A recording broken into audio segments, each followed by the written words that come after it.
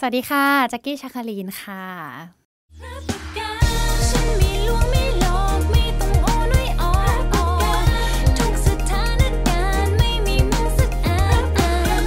ฉันหลอกใครไม่เป็นไม่ได้พูดเล่นๆก็ตื่นเต้นเหมือนเดิมค่ะ จริง ๆ ก็ได้ฟังเพลงเดี๋ยวก่อนมาสักพักหนึ่งแล้วแหละ แล้วก็รู้สึกว่าเพลงนี้เป็นเพลงที่แบบว่าน่ารัก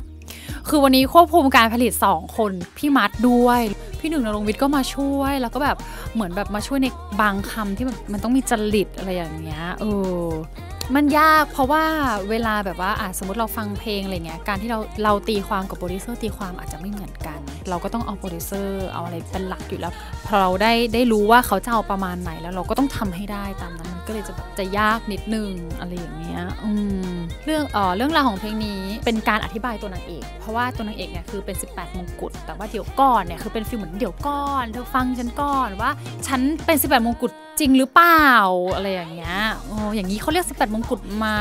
ฉันเลิกแล้วนะอะไรอย่างเงี้ยเลิกจริงหรือเปล่าอะไรอย่างเงี้ย ก็ยังไงฝากด้วยนะคะสำหรับเพลงเดี๋ยวก่อนนะคะ ประกอบละคร 18 มงกุฎนะคะ ก็หวังว่าเราจะได้ฟังกันเร็วๆนี้นะคะ เป็นเพลงไม่เศร้า เป็นเพลงไม่แดนส่วนเกินไปเป็นกลางๆพอโยกได้นะคะ แล้วก็ถ้าสมมติว่าใครอยากจะเอาไป cover ท่อนแรปก็รอดูอยู่นะจ๊ะขอบคุณค่ะ